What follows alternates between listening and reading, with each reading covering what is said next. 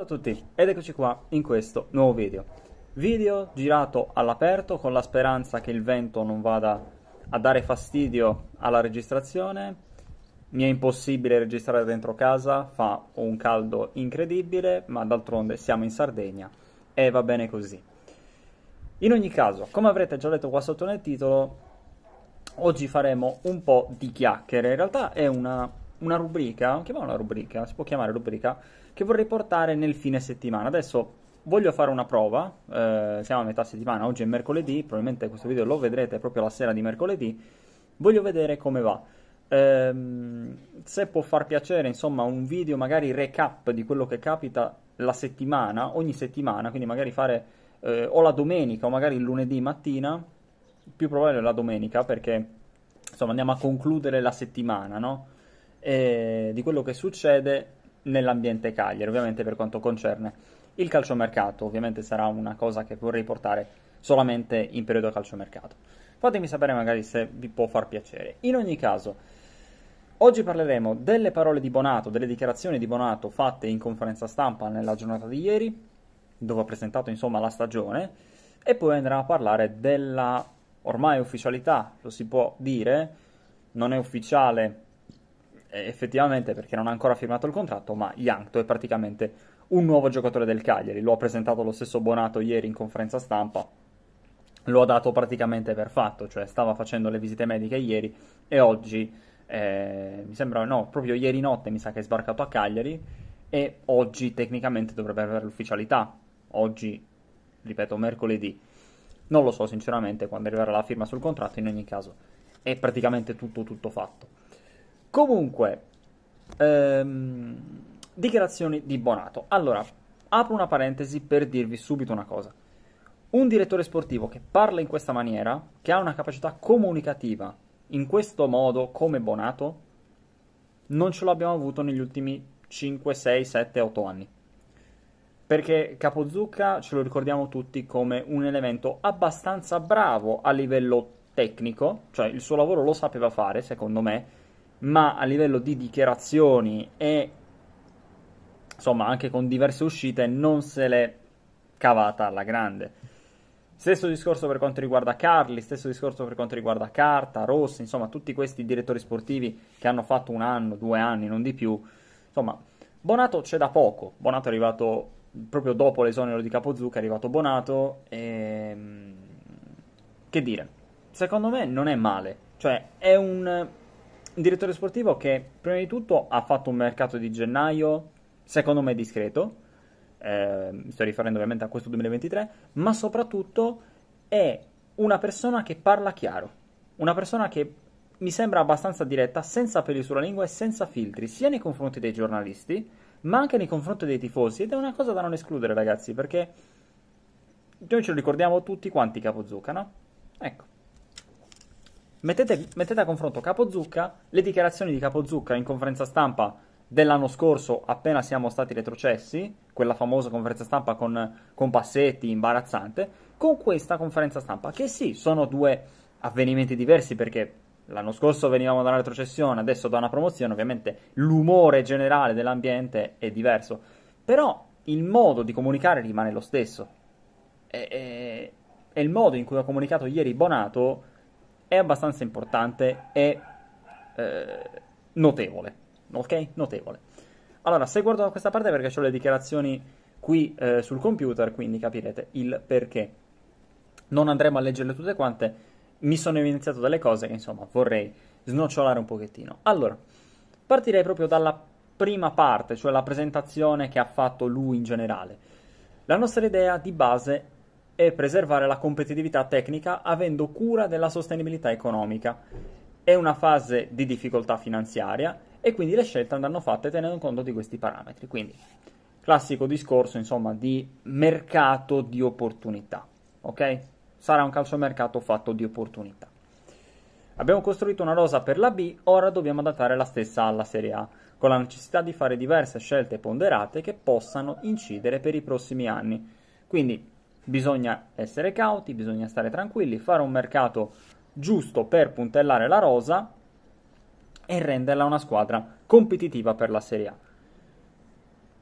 e, bisogna stare molto attenti, bisogna stare molto attenti perché quindi il calciomercato può essere una cosa che può, questo calciomercato può ripercuotersi poi negli anni, quindi bisogna farlo bene. Abbiamo un occhio di riguardo per i profili giovani che hanno motivazione, metteremo anche esperienza nella categoria e cerchiamo di fare anche qualche operazione di rilancio. Qua abbiamo tre perfetti esempi. L'operazione di rilancio è quella chiaramente di Yankto, quindi un giocatore che negli ultimi anni insomma si è un po' perso, soprattutto nell'ultimo periodo anche per discorsi insomma extracampo che non andrò a ragazzi non andrò ad approfondire perché a me sembra abbastanza normale nel 2023 quello che è Yankto e quindi eh, eh, insomma lui a, a, me importa che lui faccia bene come giocatore poi può essere quello che vuole nella vita può essere qualunque cosa a me non, veramente non, non entriamo in questi, in questi discorsi suoi perché davvero Ragazzi, a, a noi interessa davvero quello che deve fare in campo. A noi interessa il calciatore e interessa la maglia. Non ci interessa altro. Non ci interessa altro. E... Non, è, non, entro in altri discorsi. Quindi operazione di rilancio in questo senso, però parlando del profilo calcistico, Yankto ovviamente negli ultimi anni non ha fatto grandi cose, cioè io me lo ricordo gli anni della Sampdoria, era effettivamente un giocatore di buon livello, eh, anche con l'Udinese non ha fatto male, e, ehm, però, insomma, queste ultime due o tre stagioni non ha fatto granché. E, ehm, giovani che hanno motivazione. Il profilo che in questo momento il Cagliari sta sondando e che comunque è molto vicino in realtà a vestire la maglia del Cagliari è quello di Oristanio, calciatore che dovrebbe arrivare dall'Inter in prestito con diritto di riscatto e contro riscatto per i nerazzurri, giocatore che chiaramente a me sembra abbastanza interessante, è appunto giovane che ha motivazione, tra l'altro la sua prima apparizione in Serie A. E poi metteremo anche esperienza nella categoria e in questi minuti, anzi in questi minuti, in queste ore, anzi soprattutto nella giornata di oggi, è spuntata fuori la notizia che il Cagliari sarebbe a un passo da Gianmarco Ferrari del Sassuolo. Adesso non so se è vera questa cosa, però potrebbe essere effettivamente un difensore di esperienza che conosce la categoria e tutto quanto. Andando avanti, quindi questi tre prototipi di giocatori stiamo ricercando come società. Poi vabbè, tanti ragazzi come Dossena, Luvumbo, Radunovic e Macumbu meritano la chance di giocarsi la Serie A, altri hanno la voglia di mettersela come eh, hanno la voglia di meritarsela, scusate, come Nandez, Rog, Pavoletti e la Padula, e poi abbiamo lo zoccolo duro sardo, quindi qua fa insomma un po' di, ehm, di elenchi per quanto riguarda calciatori che tecnicamente dovrebbero rimanere. Eh, mi auguro per Bonato che siano effettivamente dei, delle conferme a questo punto, perché se tu mi parli di Dossena, Lovumbo, Radunic e Macumbu meritano la chance di giocarsi in Serie A, mi auguro per loro che rimangano in Serie A e non come Capozucca che ha detto Carboni me lo terrei a vita e poi lo va a accedere al Monza. Questo è quello che mi, mi riferisco a, a, una capacità comunicativa, ma soprattutto anche a una capacità di operare e parola, fatti devono coincidere, non insomma soltanto parole. Eh, quindi vabbè, questo è il discorso. Profili mancanti e cessioni. Il Cagliari deve lavorare nel reparto offensivo e difensivo, reparti meno toccati finora. Qua tra l'altro, eh, cosa importante, qua dice questa cosa, cioè reparto offensivo e difensivo, quindi attacco, attacco e difesa. Il fatto è che il Cagliari per il momento ha acquistato due centrocampisti. Non lo so, Sinceramente non lo so, sarà che mh, vuole insomma fare prima le cose semplici e poi vuole effettivamente operare sulle cose un po' più complicate, sulle cose un po' più cicciose eh, da risolvere. Il Cagliari ovviamente mi riferisco e la società in generale. Possibile, possibile. Altra cosa importante, poi sappiamo chi non rientra nel progetto tecnico o chi ha bisogno di fare il minutaggio. Quindi tecnicamente la società sa già chi mandare via e chi invece prestare o comunque in un certo senso tenere ma dosare con il minutaggio. Costruzione sfoltire, abbiamo obiettivi e desideri, tutto deve essere sposato totalmente da chi viene a Cagliari, quindi chi deve venire a Cagliari deve insomma essere pronto a dare tutto, come giusto che sia d'altronde. Ma queste sono parole abbastanza ovvie, ok? Cioè, se un giocatore non è motivato, meglio che non venga. Oristanio, Nandez e Pereiro. Qua tra l'altro fa un, già un approfondimento per quanto riguarda Oristanio. Eh. Eh, Nandez sappiamo l'attaccamento al Cagliari, sappiamo quanto valga per tutti noi, entra in gioco l'aspetto economico e noi faremo tutto il possibile per trovare una soluzione. Ovviamente Nandez è ancora in ballo il suo discorso per quanto riguarda il rinnovo. Questo, insomma, queste dichiarazioni di Bonato fanno capire che in un certo senso c'è una volontà da parte del Cagliari di rinnovare il contratto di Nandez, ma l'aspetto economico è abbastanza importante e quindi eh, bisogna valutare eh, la cosa nei limiti eh, economici anche della stessa società. Però io presumo, salvo imprevisti, che Nandez sia un giocatore del Cagliari anche per la prossima annata. Pereiro invece, Pereiro dobbiamo concedergli una soluzione alternativa, non rientra nel progetto della squadra. Capito? Oristani o prestito con diritto di riscatto e controriscatto. Quindi questa è il, l'operazione con il quale il Cagliari vuole prendere Oristanio. Non prestito secco, non prestito con diritto di riscatto e basta, c'è anche il controriscatto per l'Inter. Per il momento non, rileva- non, non rivelato il controriscatto, semplicemente ci dovrebbe essere un diritto di riscatto fissato a 4 milioni di euro. Per quanto riguarda l'attacco, e qua c'è una cosa molto importante. Partiremo con il 4-4-2 cercheremo le caratteristiche che completano il reparto attaccanti di gamba e fisicità. Uno che abbia le caratteristiche da prima punta e uno che abbia le caratteristiche di seconda punta.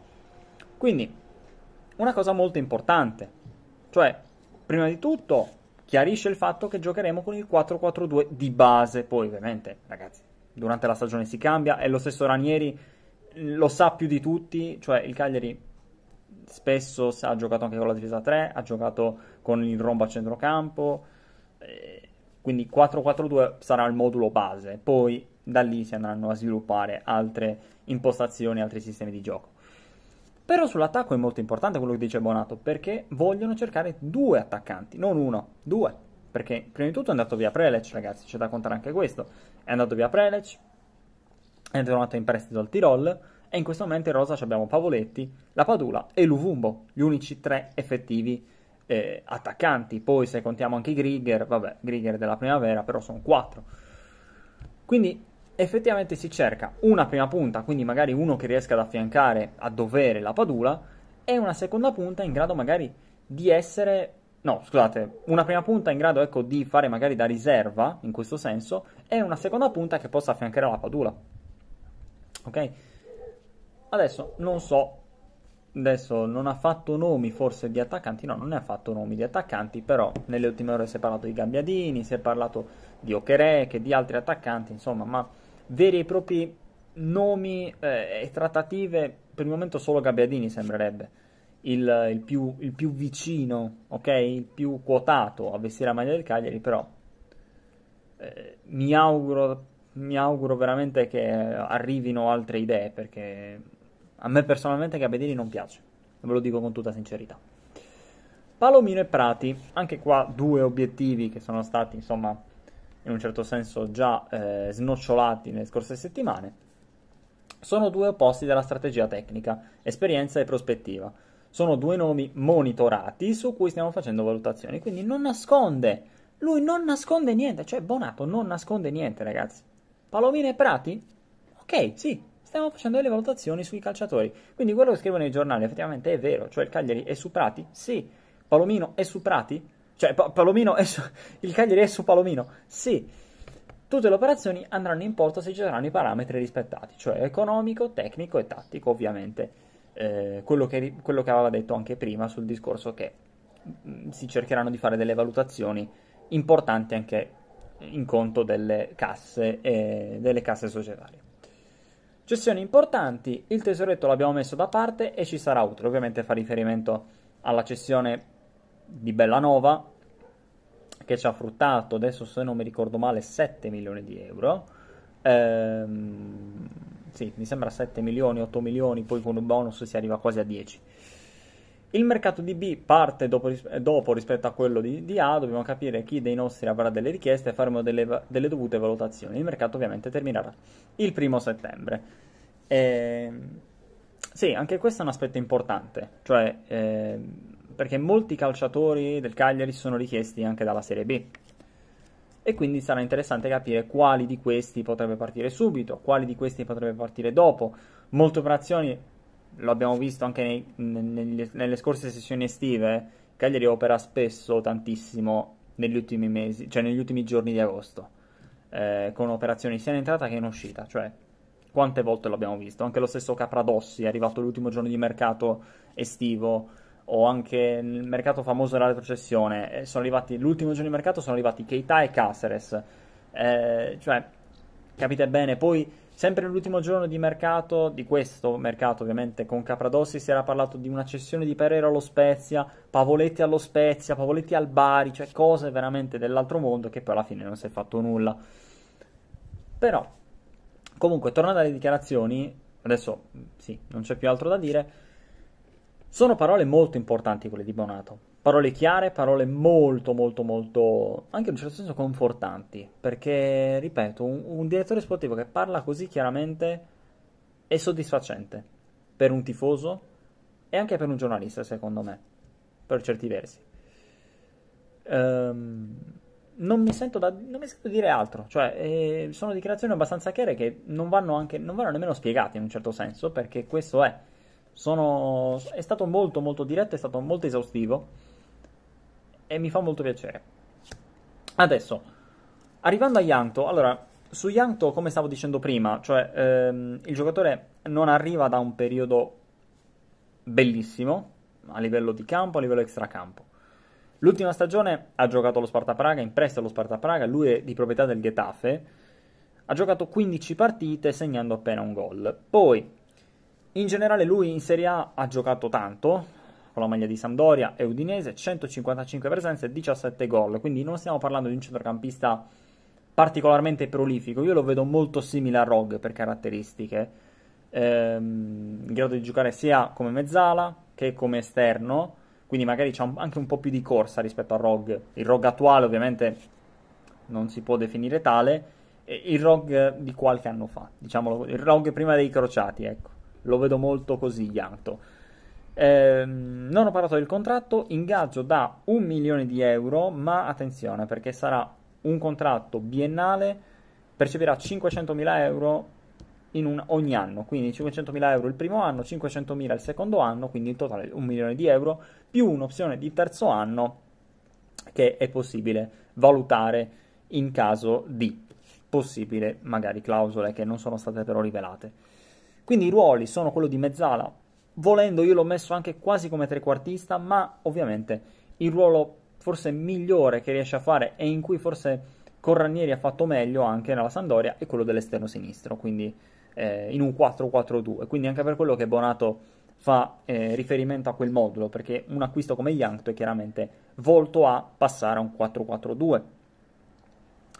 Eh, ruolo in cui tra l'altro noi abbiamo giocato, cioè noi abbiamo giocato con quel modulo, ragazzi, noi abbiamo giocato con quel modulo anche in questa stagione e spesso in quel ruolo è stato messo Lella, ok? Lella che è prettamente un centrocampista di rottura, di corsa, però anche di buona quantità, ecco, in generale.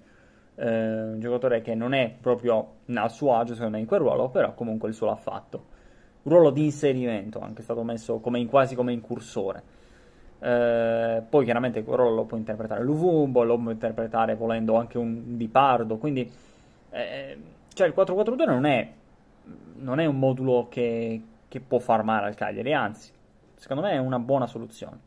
Poi ripeto, ci saranno tante opportunità per cambiare modulo durante la stagione, il Cagliari può cambiare pelle, ok? Può cambiare pelle. Eh, ultime cose su Yankto, vabbè, ovviamente anche per lui 45 presenze con la maglia della nazionale della Repubblica Ceca, un 4 gol per lui che non sono male, tra l'altro ha giocato anche l'europeo, l'ultimo europeo. È un acquisto buono per la Serie A, ripeto, eh, però adesso concentriamoci sulla difesa e sull'attacco. Questo è ciò che mi auguro da parte della società, che arrivi al più presto, insomma, arrivino al più presto colpi in difesa e in attacco, perché tra l'altro sulla difesa dobbiamo vedere anche come si svilupperanno la questione terzini. Tra l'altro adesso flash incredibile, Scuffet dovrebbe essere vicino a vestire la maglia del Cagliari, Scuffet portiere del Cluj. Eh, per quanto riguarda poi, tornando alla difesa, dovrebbe essere anche qua eh, abbastanza nel vivo la trattativa tra Augello e il Cagliari, eh, per quanto riguarda ovviamente con la Sampdoria. Eh, trattative che potrebbe tra l'altro coinvolgere Barreca, potrebbe coinvolgere anche lo stesso Gaston Pereiro, Gaston Pereiro che è a quanto pare cercato anche dalla Sandoria, chissà magari un, un doppio scambio, magari al Cagliari arrivano Gabbiadini e Augello e alla Sandoria andrebbero Barreca e Gaston Pereiro, potrebbe essere una trattativa che potrebbe magari essere eh, staccata oppure collegata, adesso vedremo un po' come si svilupperà. In ogni caso, fatemi sapere cosa ne pensate ovviamente di tutto questo, parole di Bonato, Ianto e tutto quanto, io vi saluto, forza, castigo sempre e ciao ciao.